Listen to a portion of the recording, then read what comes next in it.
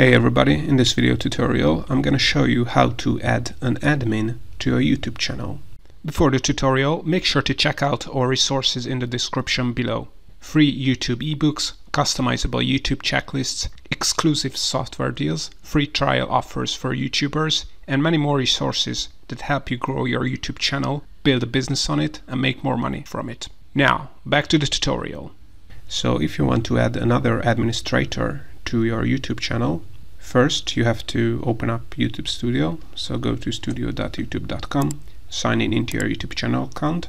Then to add an admin to the YouTube channel, on the left, click on Settings, then click on Permissions, and here's where you can invite admins to your YouTube channel.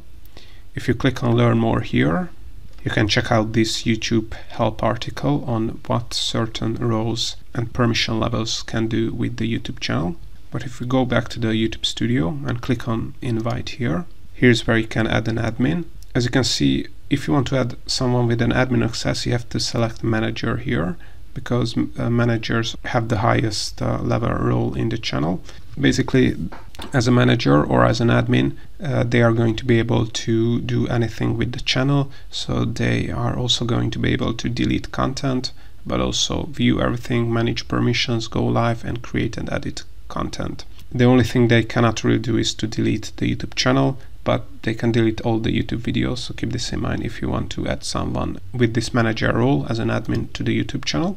But select the access as manager and then add an email address to the person. So as you can see, it's not enough to add just an email address. It has to be a Google account that an email address that is connected to a Google account. So I have added an email address that I know has a Google account and as you can see uh, now we don't see that warning there. So once you have added the email address click on done and now this person will receive an invitation from YouTube that they have to accept in uh, 30 days. To finalize the invitation click on save and you also have to verify your YouTube account so click on proceed and you will receive a message to your phone notification where you can verify that you own this YouTube channel and then YouTube will send uh, the invitation email to this person.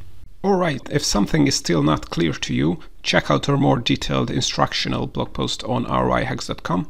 Links to that in the description below. Also, don't forget to check out our free ebooks, checklists, software deals, and templates that help you grow on YouTube and teach you how to make a full-time online business from your YouTube channel. Alright, if you found this free tutorial helpful, please like it or you can also support us making more free videos by clicking on the thanks button. Any support is appreciated.